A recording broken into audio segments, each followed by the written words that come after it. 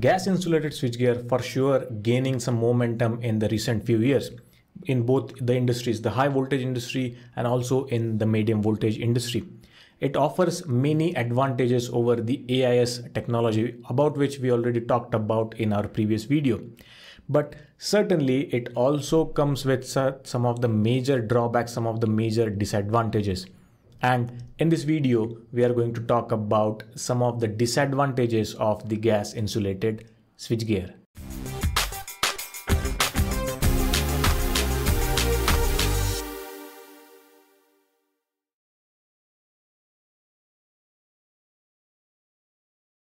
Now, undoubtedly, the GIS technology is the most reliable technology available in the market today. And there is a very rare chance that there will be some fault that will occur inside the switchgear, the internal fault I'm talking about. But let's say if that happens, if sometimes the internal fault occurs, then there is a big problem. Because in case of GIS, the outage time would be huge let me explain that with one simple example. Let's consider we have air insulated switchgear. Now in this, there is a fault in the current transformer. Now in this scenario, what I can do is I can replace the faulty current transformer with a new current transformer. Now in that scenario, my outage time would not be very high, maximum by six, seven hours, right? And the supply will continue. But imagine the same thing happening with the gas insulated switchgear. Now I could easily replace the current transformer in the AIS because it's a stand-alone device. GIS that is not the case. GIS everything is interconnected. So I just cannot take out the current transformer and put it with a new one. I may have to take out the complete bay and to replace that to repair that it will take huge amount of time. So for sure the out time in that scenario would be very very high when we compare it with the AIS technology. Again, for sure, uh, this scenario is rare, but if that happens, then surely it's a problem. Now for GIS, we have a lot of manufacturer. Now each manufacturer will have their own design, uh, they will have their own dimensions, they will have their own architecture. The interfaces of the product will be different for different manufacturer. And that is the problem.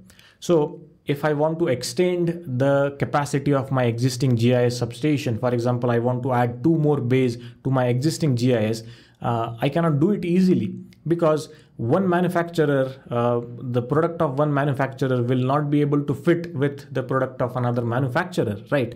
I may have to design some adapter plates in between so that uh, that uh, these two devices from two different manufacturer can sync in and that is a very cumbersome process. And i may have to spend additional money to get that adapter plate design but with the ais technology it's the most simplest method. The extensions are super easy. There is no dependency of the manufacturers here. I can get uh, the product of any manufacturer and put it in my bay or add one extra bay. There is no problem at all. But with the gis this is one of the problem the next major drawback that is the use of SF6 gas and not just the use, the use in the very huge quantity. Just to give you one example, the 145 kV bay of a uh, GIS technology, one single bay will need around 130 to 150 kilograms of SF6 gas. Is that a problem? For sure, it is a problem because SF6 gas is one of the most dangerous greenhouse gas. And if that leaks into the environment, it stays in the environment for around 3000 years. The global warming potential of SF6 gas is again very, very huge. And that is the reason now everybody is talking about going SF6 free, not using SF6 gas in the switchgear. I've already talked about this particular topic in one of the video. I'll provide link for that video down in the description. You can go and check it out after this video. But that is the problem now since uh, if we are using SF6 field GIS, then it's not so environment friendly. Yes, for sure, there are some solutions available, alternative are available. So instead of SF6 gas, we can use clean air as an insulating medium. to know more about that, you can watch my video. Link is in the description.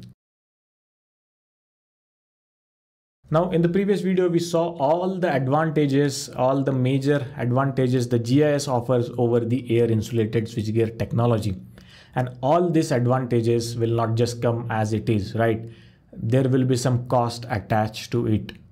So to get all this advantage, we need to for sure spend huge money compared to the AIS technology. The AIS technology is the cheapest technology available in the market for the switchgear. But if you want to switch it to the GIS technology, then you will have to spend a lot of money.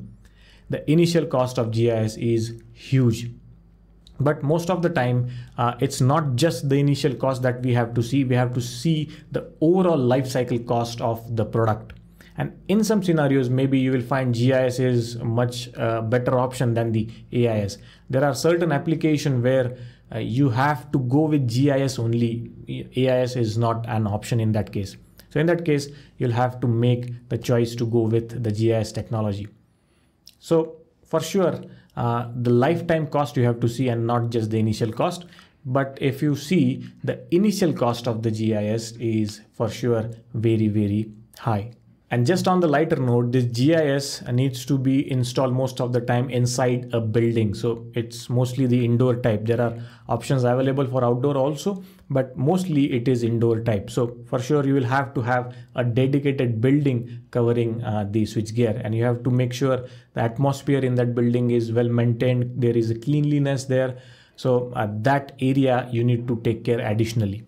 AIS is mostly outdoor and uh, it's it's like once you have installed it will stay outdoor. You don't have to have air conditioning to that or nothing. So you'll have to take care somewhat the cleanliness inside the gis room. So those were some of the major drawbacks that comes with the gas insulated switchgear technology. Of course nothing is perfect. So is the gis as well. So with the advantages there are some disadvantages also. But it is very very important to understand both these things. Most of the time people will only talk about the advantages it offers but nobody will talk about the disadvantages that comes with it.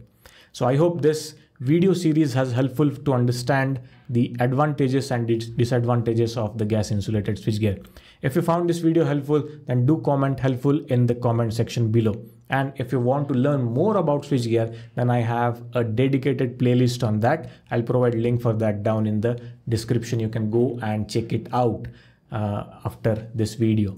So thank you so much for watching guys. I'll see you in my next one. But till then, keep watching, keep learning.